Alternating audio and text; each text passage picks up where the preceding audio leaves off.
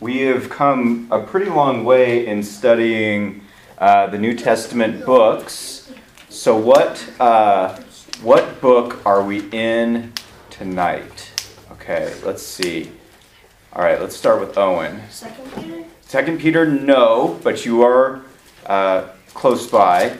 Let's go with Savannah. First John. First John, good. How did you know? Because yes, last time we did First Peter. Very good. Okay, great. Yeah, First John. So, okay. All right, so let's talk about what First John is about. First, let's talk about uh, who wrote it. Okay, so who wrote First John? Remember to raise your hand if you have questions or comments. So, uh, Katie, John. guys, I'm talking. Yes, John, correct.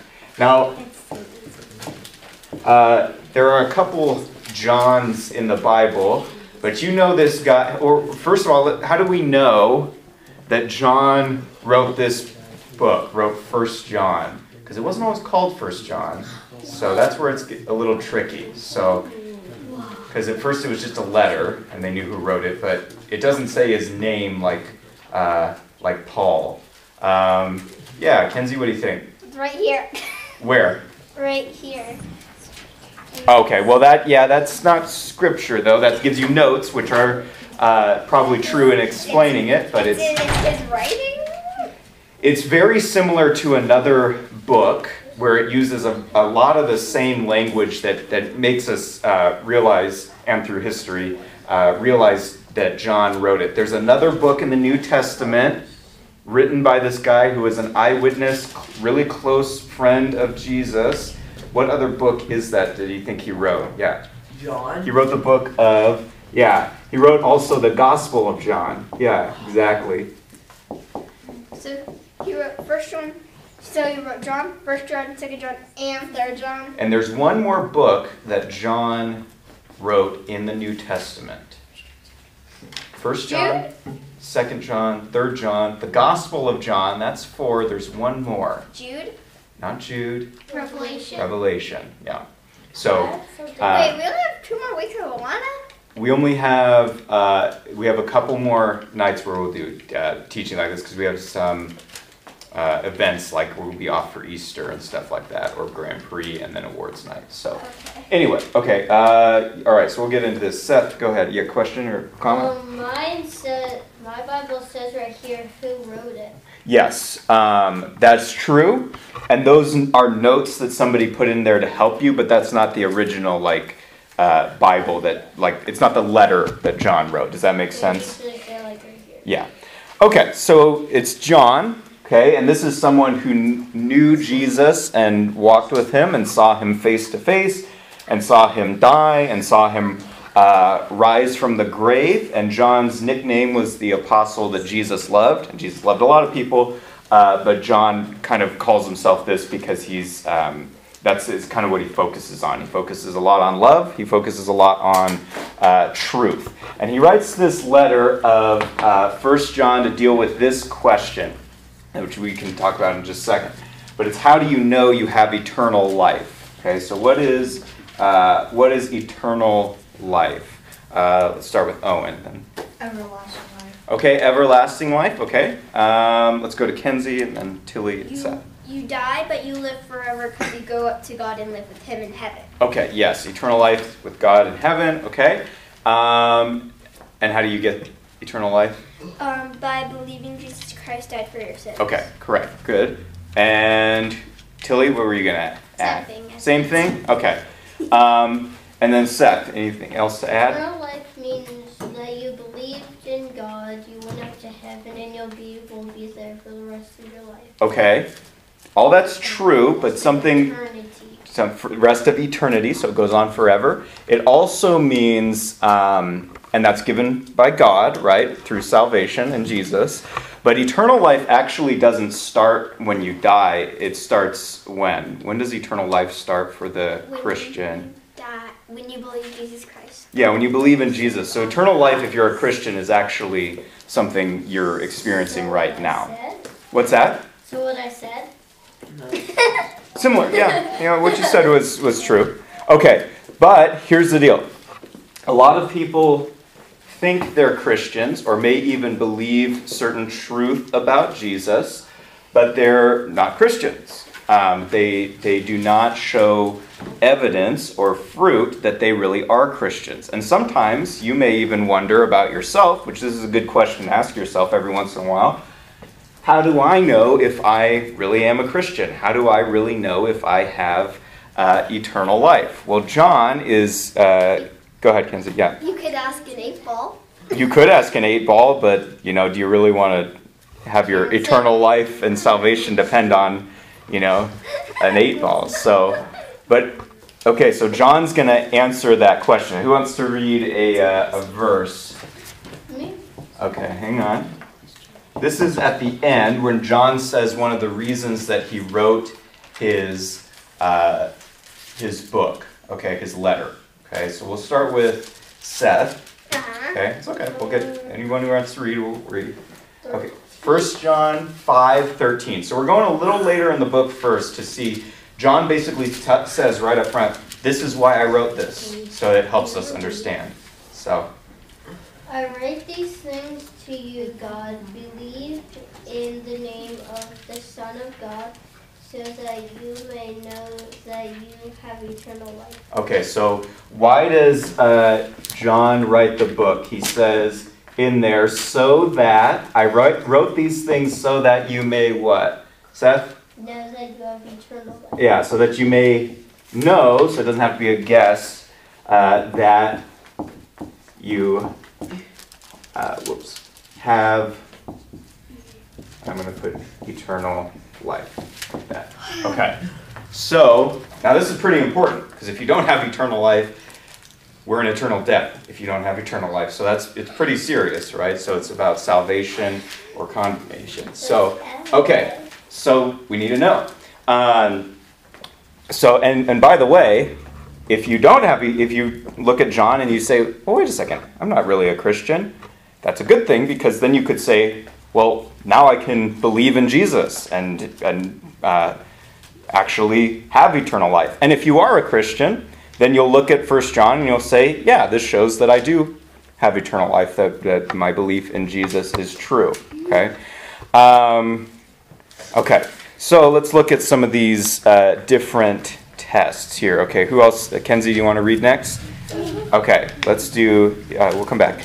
Okay, Kenzie, we're going to look at.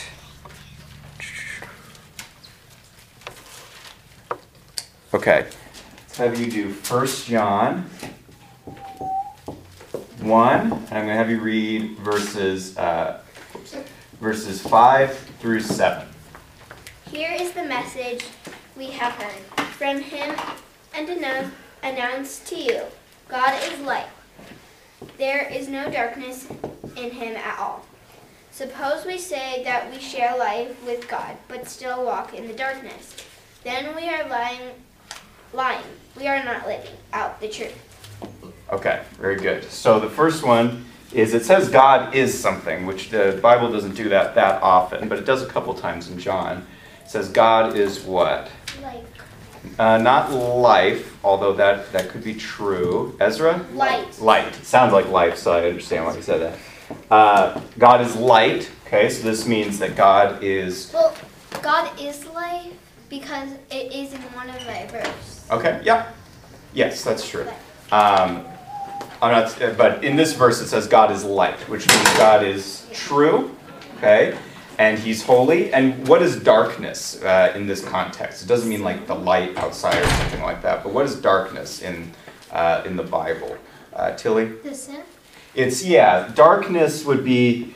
Uh, that's a good way to put it. Would be kind of equivalent with like sin, or uh, what else? Satan and evil. Satan, evil, uh, and then anything else in the Bible? Darkness. Dark magic. Well, when it's dark, it's hard to what? See. See. Yeah, so that See doesn't. So it means also see that you're uh, in darkness. There's this idea of being blind. So people who aren't don't know the truth or don't accept the truth, we would say that they're acting like they're blind. Okay? So God doesn't want that. God is light. Okay? So it says if somebody, in that verse, it says if somebody walks in darkness.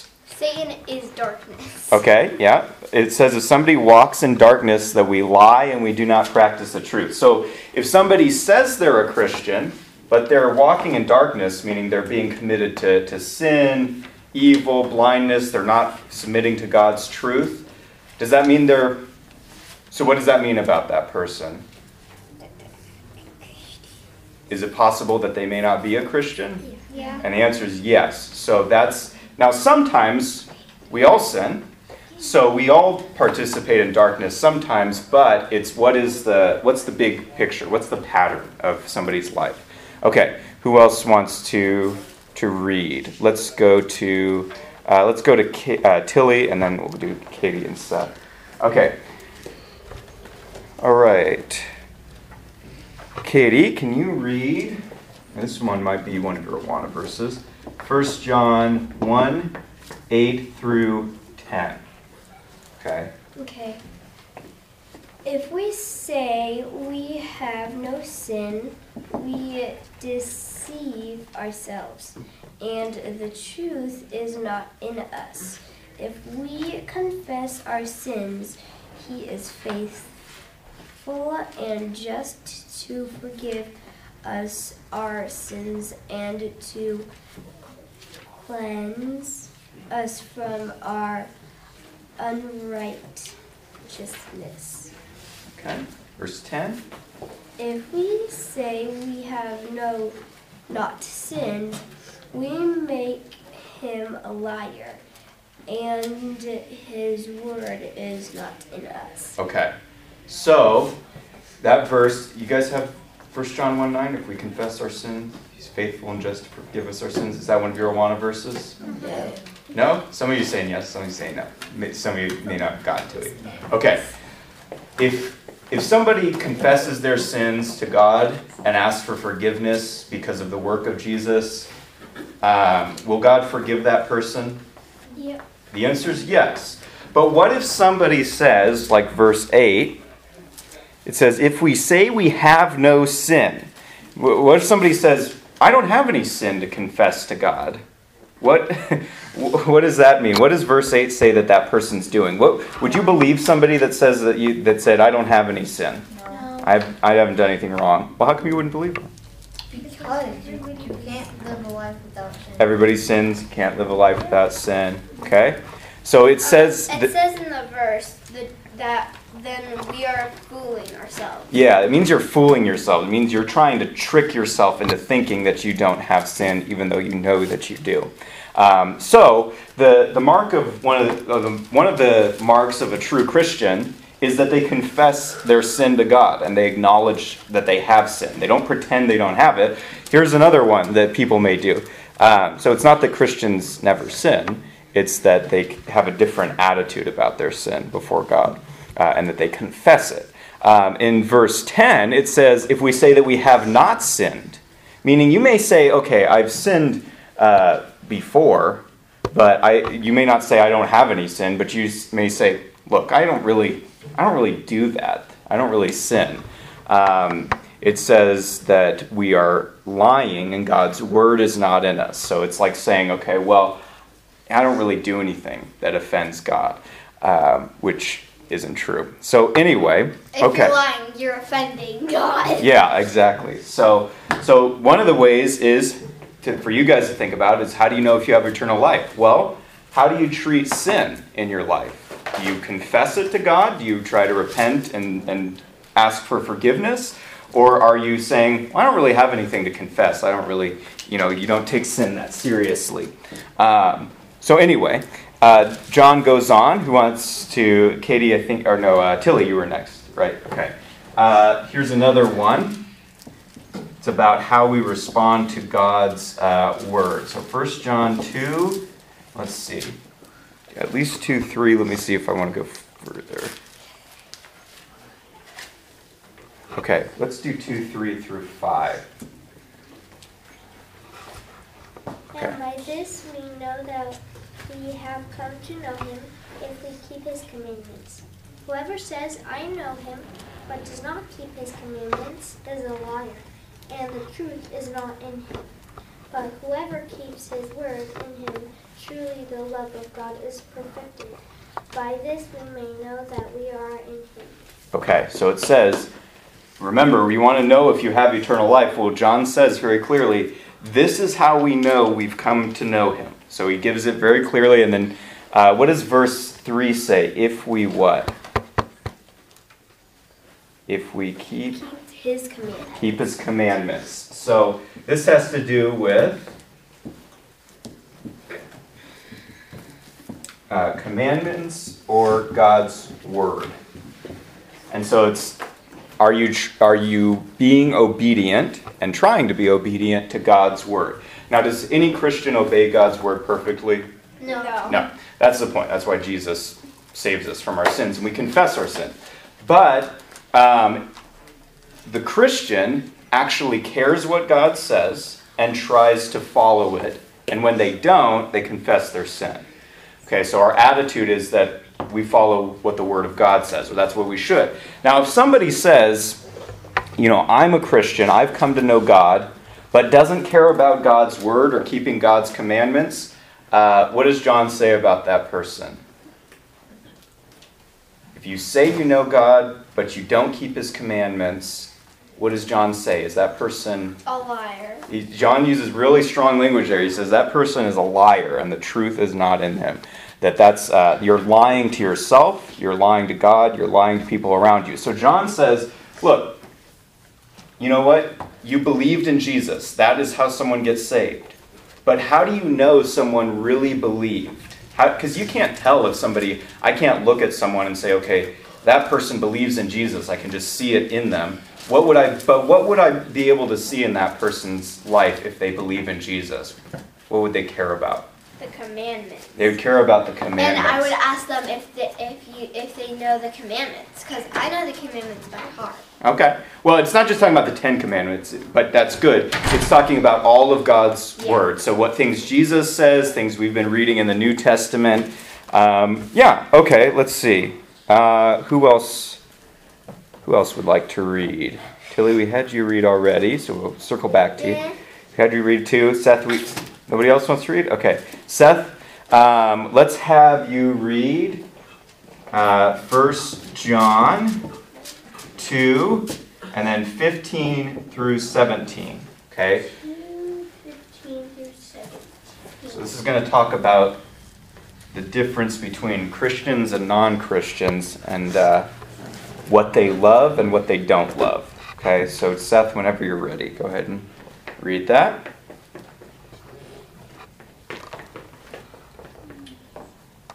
Do not love the world or anything in the world. If anyone loves the, him, for everything in the world, the cravings of sinful man, the just of his eyes, the boasting of what he does come not from the Father, but from the world. Okay. So it tells you. Wait, 17 also. Yeah, do, go ahead. 17. Um, so the world and its desires pass away, but the man who does the will of God will live forever. Okay. So it tells you not to love something. Okay, it says do not love and then it tells tells you what not to love as a Christian. Do not love anything more than God. Okay, that's true. It's not exactly Do what Do not love the world. Do not love the world. Okay. Are we allowed to love our animals?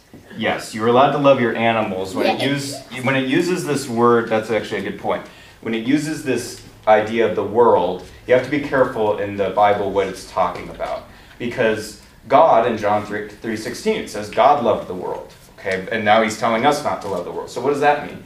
Well, sometimes the world means the earth that God created, sometimes it means the people, sometimes it means God's people, the believers, sometimes it means just humanity in general. In this case, it means the evil world system that's against To God. the people? Huh? To the people? No, it's not even about the people. It's about loving um, everything that in this world that stands against God. That's what God's talking about here in the world. He says, don't love the world system that hates God. Because if you love that and you want to be a part of that, that shows that you're, you're an enemy of God. But if you love doing the will of God, that shows you have eternal life. Uh, Kenzie, did you have a question or comment? You're raising Well. I was gonna say, do not love the like the bad people in the world, like evil Yeah. robbers and stuff. Well, I mean, you can even love them. Obviously, there's an accountability. Well, Jesus says to love your enemies, but the uh, but yes, God is is not calling you to love uh, the the sins or crimes that people commit. He, what he's talking about here is that he says it's okay to love. You know, the world has a lot of great things about it because God created it, but the world also is in sin, and so there's a sinful world system that's against God, that's that's passing away. Okay, so the that's going to go away when Jesus returns. Um, the so if you're loving something that's passing away, God says, well, that's not the sign of somebody who has eternal life. That's what John is getting at here. Okay, um, another verse. Who wants to read? Tilly, you had your hand up before you want to read. Okay, can you read? Let's see here.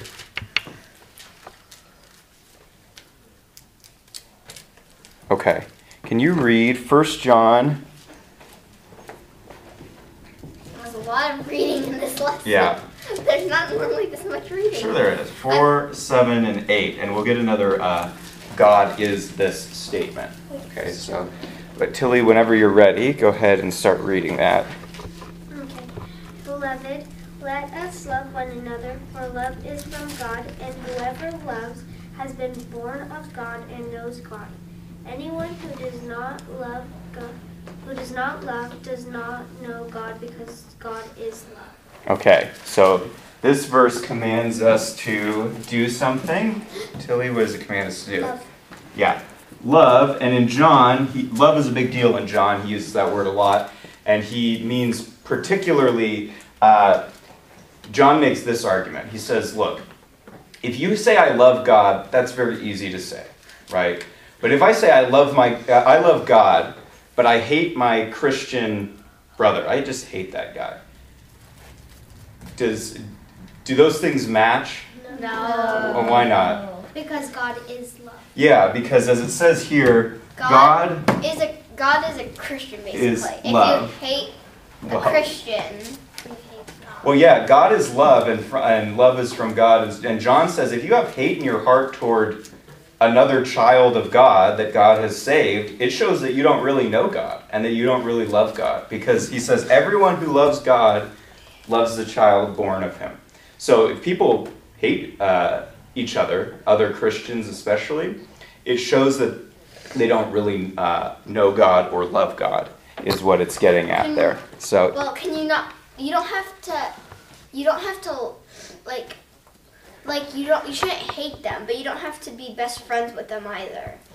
That is correct, but the, the point is this: what's your, you know, what's the attitude of your heart toward other uh, people in general and Christian brothers and sisters in particular? Um, so yes, you can't possibly be best friends with everybody. Even Jesus has John was a closer disciple than a lot of other people.